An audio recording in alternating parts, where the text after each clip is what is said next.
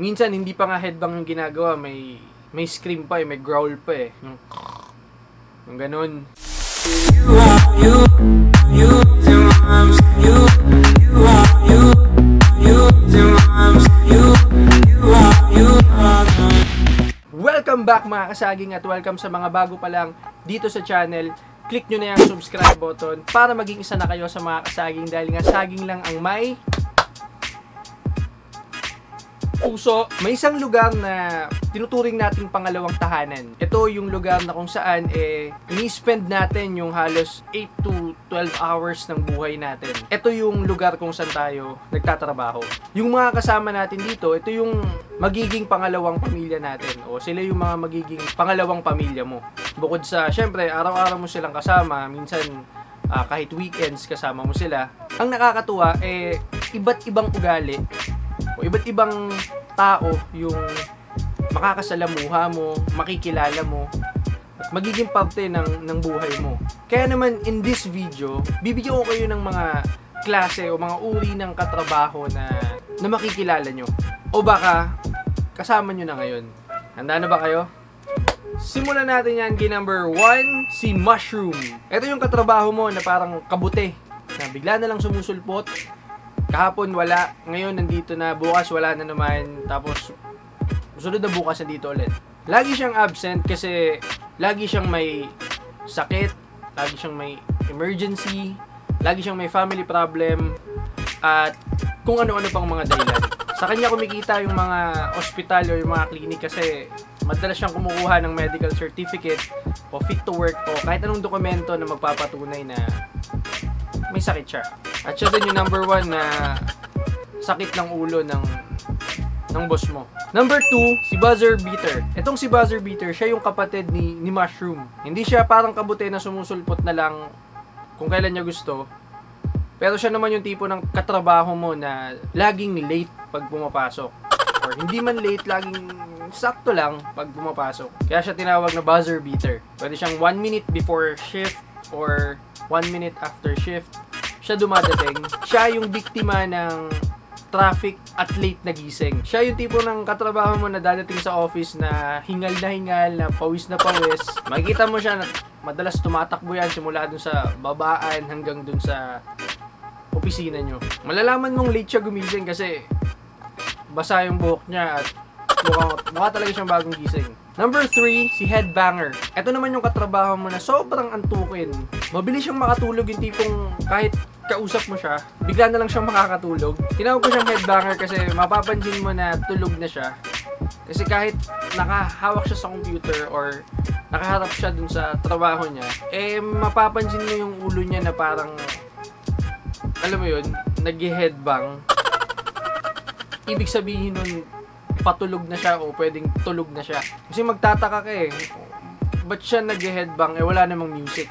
Minsan hindi pa nga headbang yung ginagawa, may may scream pa eh, may growl pa eh. Yung Ganon. Number 4, si Joker. Ito naman yung katrabaho mong Kenkoy. Siya yung Joker sa grupo. Yung pinakamakulit, yung pinakamaingay. Lagi siyang may baon ng mga jokes na minsan pasok naman pero mas madalas yung walay. Ang kagandahan kay Joker, lagi siyang positive. Hindi mo siya makikitaan ng, ng negative kasi ang goal niya is mapasaya o mapagaan yung, yung sitwasyon sa loob ng trabaho. Number 5, si Hugot. Itong si Hugot, siya yung nagmahal, nasaktan, at takot nang masaktan ulit. Siya yung single na, kaya naman bitter siya sa relasyon ng iba. Tipong sasabihin niya pag may nakita siyang couple sa inyo na maghihiwalay din yan. Hirap na siyang magmahal kasi iniisip niya na baka masaktan lang siya ulit at pare-parehas lang naman yung mga babae o mga lalaki.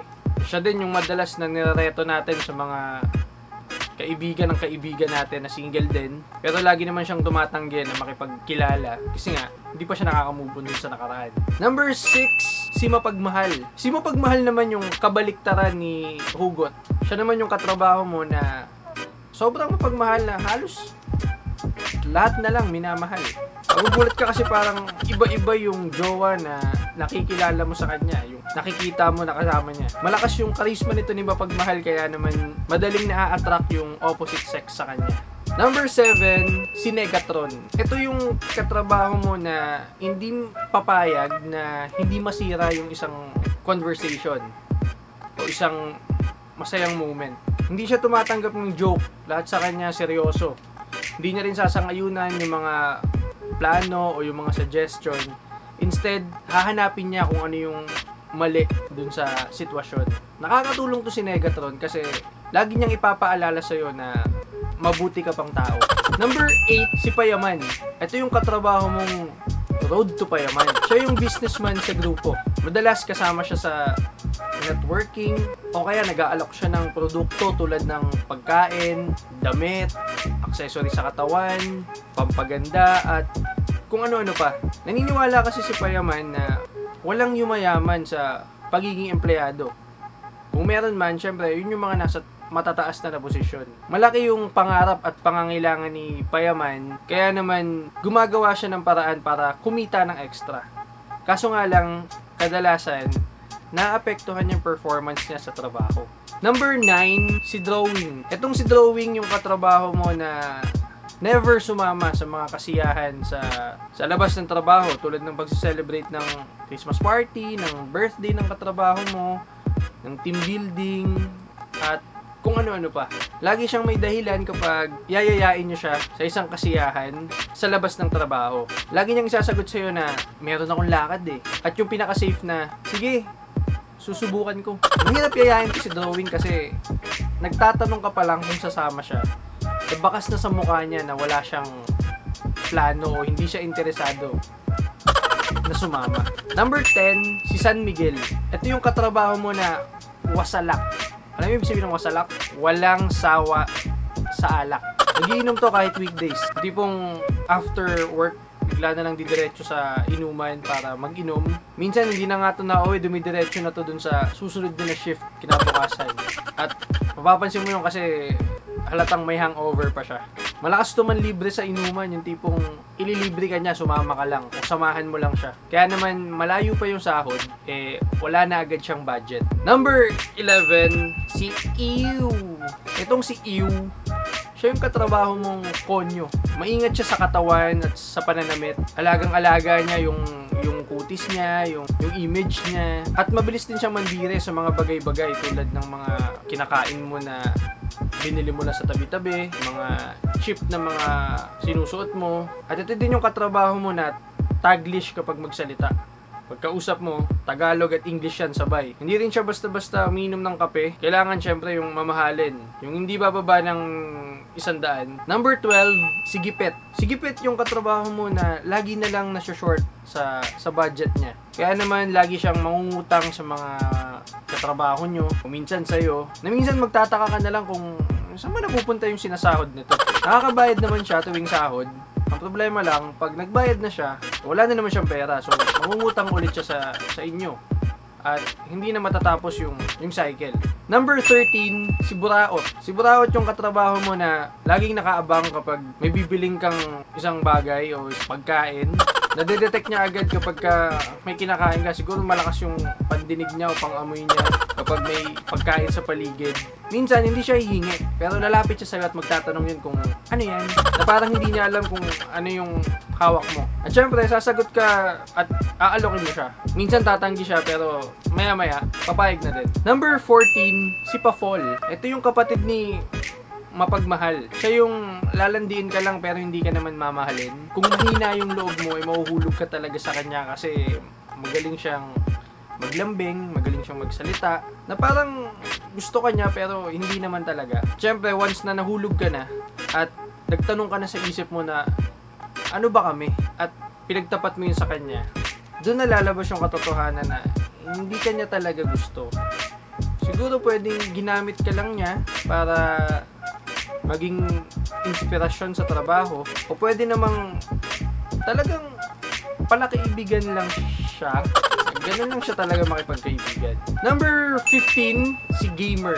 Ito yung katrabaho mo na mahilig maglaro ng iba't ibang klase ng games. Online games, mobile games, kahit ano pang mga games. Ito yung katrabaho mo na hindi mo madalas nakakausap kasi parang may sarili na siyang mundo dahil nga busy siya dun sa ginagawa niya. Hindi sa trabaho, kundi sa paglalaro ng ng mga games. Magugulat ka na nga lang minsan kasi bigla siyang tatawa, minsan bigla siyang magagalit at iba't iba bang klase ng emosyon dahil nga doon sa nilalaro niya. Siya yung tambay na makikita mo sa locker room, minsan nasa kantin siya, minsan nandun siya sa, sa sulok-sulok ng opisina nyo.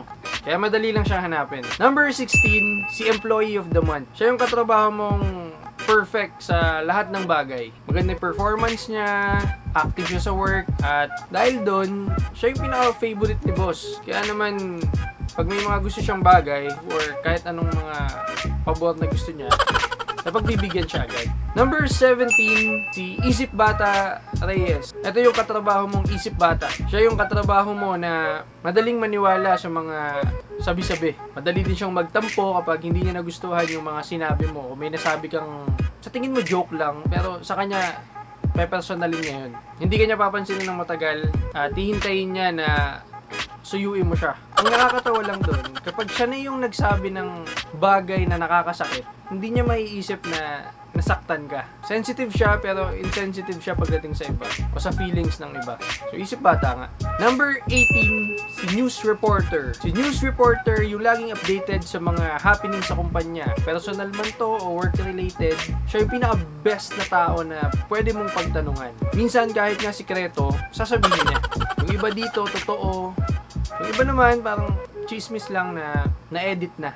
Kaya kung gusto mong ma-entertain, maging updated sa mga happening sa kumpanya, sa mga katrabaho nyo, yung ano nangyayari sa mga katrabaho nyo, kaibiganin mo to si news reporter. Iba-iba man yung ugali ng mga tao na makikilala mo sa loob ng opisina, lagi mo tatandaan na ang dahilan kung bakit kayo nandun eh para magtrabaho. Mabigyan ng magandang output yung company para kumita kayo and masuportahan nyo yung pamilya nyo. Etong mga sinabi kong mga tao, iba't iba man yung ugali nila, kailangan mo silang pakisamahan. Kasi 8 hours mo silang makakasama eh. Negative man sila o positive, kailangan pag-aralan mo na pakisamahan sila.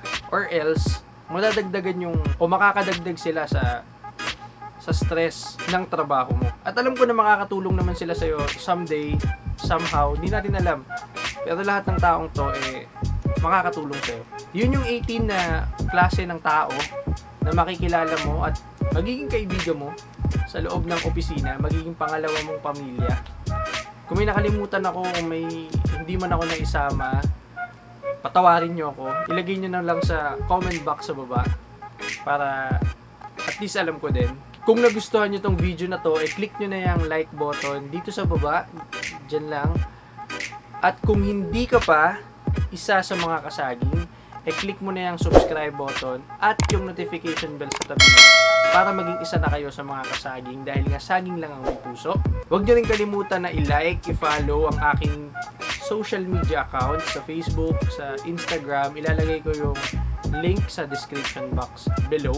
Kung may gusto kayo pag-usapan sa susunod, eh, feel free na ilagay yan sa comment box sa baba. Hanggang sa muli, kita-kits tayo next video. Naked Banana TV. Peace out.